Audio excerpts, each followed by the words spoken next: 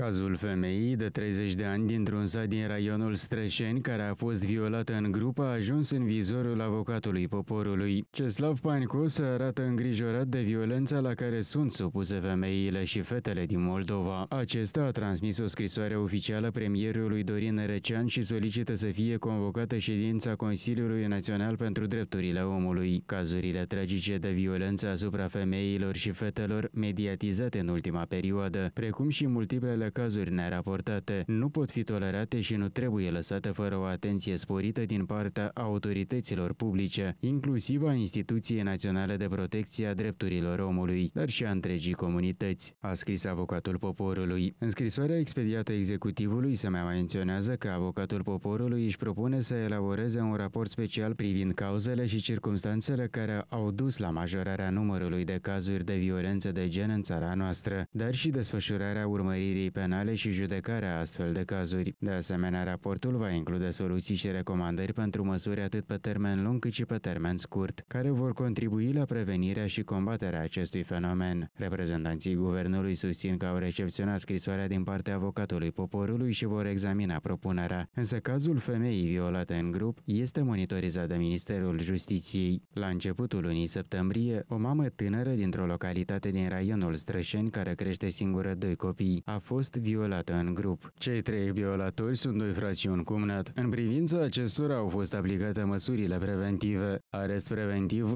arest la domiciliu și control judiciar. Acum câteva zile, ministra Justiției, Veronica Mihailov Moraru, a menționat că va monitoriza desfășurarea anchetei în acest dosar.